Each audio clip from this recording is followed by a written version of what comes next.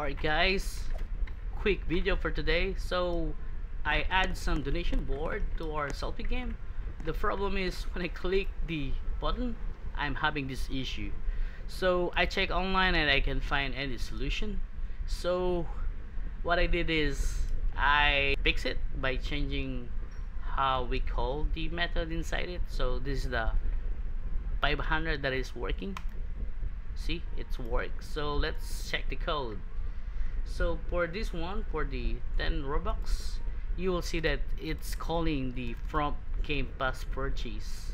So that that's the issue. If you make a developer product and of course that is not a game pass this will have some problem. So to fix that we just we just need to call a different method which is let's see.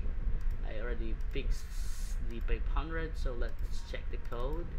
So we need to call from product purchase instead so if we go back to that 10 we can change the, the script and then change this and then save then run again.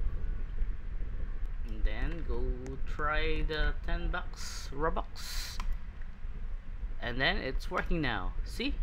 That's how you're gonna fix it. Alright so I hope this video will help you fixing that donation box. I wish you, you can earn a lot of robux for that so thanks for watching guys and see you next time. Bye bye